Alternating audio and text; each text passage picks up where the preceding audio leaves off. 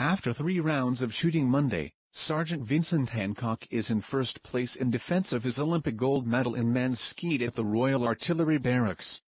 The U.S. Army Marksmanship Unit soldier posted a high score of 74, sandwiching two rounds of 25 around a 24.